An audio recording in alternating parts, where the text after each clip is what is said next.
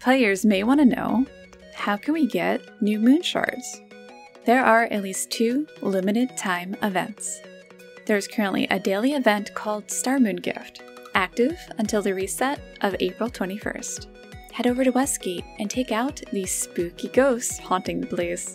You can obtain two new moon shards and three star shards daily. With these shards, you can open up the special event shop and check out what's available.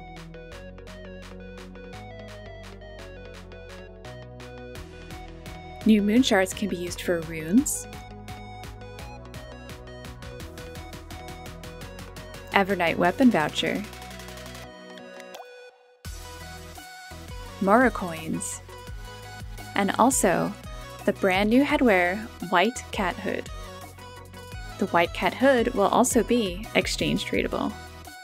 You can also use new moon shards to exchange for the moonlight crystals, which can be used for extra special items such as blue cat vouchers, which can help you roll on the monthly headwear gacha, exquisite repair shards, and the brand new Loli secret headwear.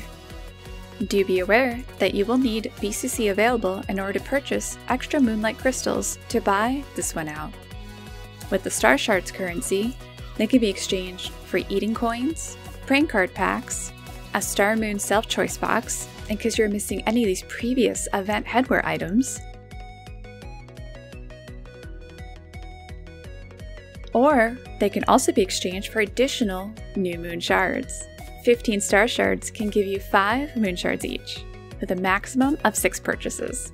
Moon Witch's Blessings is a weekend only event. Starting March 25th, every Saturday and Sunday, we can visit Iria in Prontera for a kind blessing from her, which includes Oracle Dust, Oracle Crystals, Big Cat Feast vouchers, and New Moon Shards.